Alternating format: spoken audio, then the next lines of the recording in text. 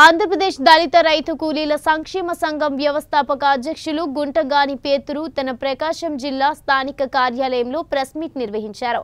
ఈ సమావేశంలో దళిత రైతు కూలీ సంక్షేమ సంఘం నాయకులు మాట్లాడారు.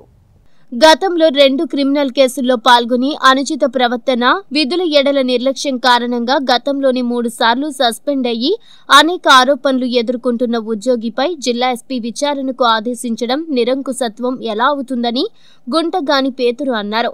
ఈ కార్యక్రమంలో సంఘం రాష్ట్ర బీసీ అధ్యక్షులు మానం నాగేశ్వరరావు జిల్లా అధ్యక్షులు బద్దిపూడి మార్కు తదితరులు పాల్గొన్నారు. అందరికీ నమస్కారం. నా పేరు గుండగాని పేతులు ఆంధ్రప్రదేశ్ దళిత రైతు కూలీ సంక్షేమ సంఘం వ్యవస్థాపక అధ్యక్షుడిని జై తెలియజేస్తున్నాను. ఈరోజు ప్రకాశం జిల్లా మన ఎస్పీ గారు సిద్ధార్థ కమిషనర్ గారు ఈరోజు ఈ విధానంలోని పరిపాలనలోని మరి ల్యాండ్ ప్రాబ్లం ల్యాండ్ ప్రా- ఆర్డర్లోని పరిపాలన ఆయన ఈరోజు పదమూడు జిల్లాల కంటే జిల్లా ఎస్పీల కంటే మన రాష్ట్రంలోనే ఐకాన్గా పిలుచున్నాడు మరి ఎక్కడ నేరం జరిగినా ఒక ఎస్పీ కా కాకుండా మరి టౌన్లో ఇది ఇది సందు సందు కొంది మంది తిరిగి మొత్తం ల్యాండ్ ఆర్డర్ మొత్తం ఆయన పరిరక్షణలో చేస్తున్నాడు. అలాగే కరోనా విషయంలో కూడా ప్రత్యేకంగా శ్రద్ధ తీసుకొని ప్రతి ఆఫీసర్కి పోలీస్ ఆఫీసర్ కూడా ఆయన చక్కగా ఆదే ఆదేశాలు ఇచ్చి మరి ప్రజల్ని జాగ్రత్తగా ఉండాలని ఆదేశాలతో ఇరవై నాలుగు గంటలు ఆయన శ్రమ చేస్తున్నాడు. అలాగే ఈరోజు మరి ఎస్పీ గారు ఏ విషయంలో కూడా రాజకీయాల గుర్తు లేకుండా మరి రాజకీయాలు నొక్కకుండా ప్రజలు తప్పు చేసిన తన సొంత డిపార్ట్మెంట్లో ఎటువంటి ఆఫీసర్ తప్పు చేసిన ఖబర్దార్ జాగ్రత్తని వీటిని వెంటనే వాళ్ళ మీద విచారణ జరిపి మరి వెంటనే సస్పెండ్ చేయడం జరిగింది. మరి ఒక నుంచి డ్యూటీ నుంచి వేరే జిల్లాలో కూడా వేరే దగ్గర కూడా మార్చడం జరిగింది.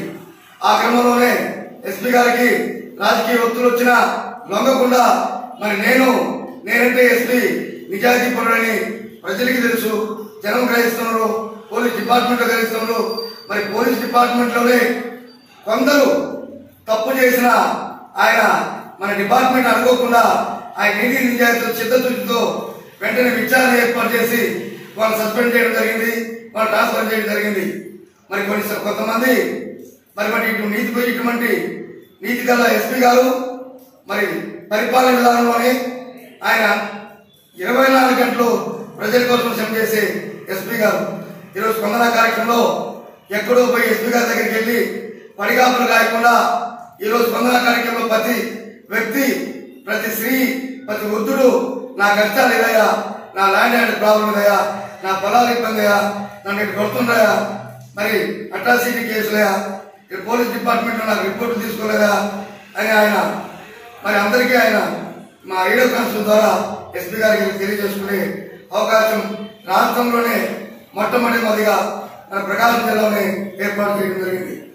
మరి ఈ క్రమంలో కొంతమంది ఎస్పీ గారి మీద మరి కుదరడానికి ప్రయత్నం చేస్తున్నారు గుర్తించండి.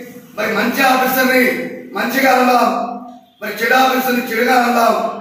మరి ఈ రోజు మరి మన రాష్ట్రం మొత్తమే కాదు ఎస్పీ గారు చేసే వైద్య కార్యక్రమాలు కొత్తగా ఆయన ల్యాండ్ ఆర్డర్ ప్రాబ్లం ఏంది? దాన్ని ఎట్ల విధానాలను సెట్ చేయాలా?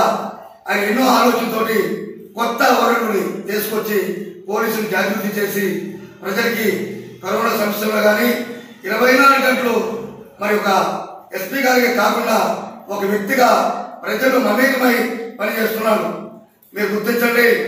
మరి మనము ప్రజా సంఘాలు కానీ ప్రజలు కానీ అందరూ ఆలోచిస్తున్నారు. ఇటువంటి మంచి ఆలోచన మీద పురుషులను మంచిది కాదని మా ఆంధ్రప్రదేశ్ దళిత రైతు సంక్షేమ సంఘం ఖండిస్తుంది.